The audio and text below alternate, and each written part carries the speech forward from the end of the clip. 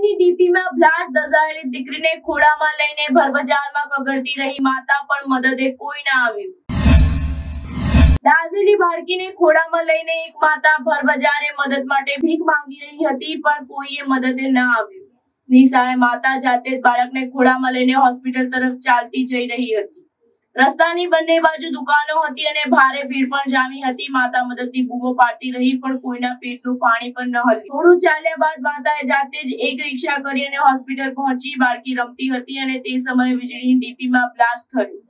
અને માતાની બંને દીકરી એક સાથે દાજી ગઈ.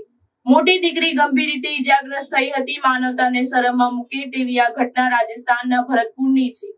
ઘટના સોમવાર સવારે આશરે દસ વાગે બની દસ વર્ષની ગોરી પોતાની છ વર્ષની નાની બહેન નંદની સાથે. નગર નિગમ પાસે શાકભાજીની લારી ચલાવનાર માતા પિતાને ટિફિન આપવા ગઈ હતી. જમવાનું આપીને તે બંને ત્યાં જ રમવા લાગી. અચાનક રસ્તાના કિનારે આવેલા વીજળીના બોક્સમાં બ્લાસ્ટ થયો. બંને બહેનો દાઝી ગઈ દુર્ઘટના બાદ અફરાતફરી મચી ગઈ હતી. કમનસીબ માતાએ ગોરીને જાતે જ ખોળામાં ઉચકીને ચાલીને જ હોસ્પિટલ તરફ ભાગી ગઈ હતી.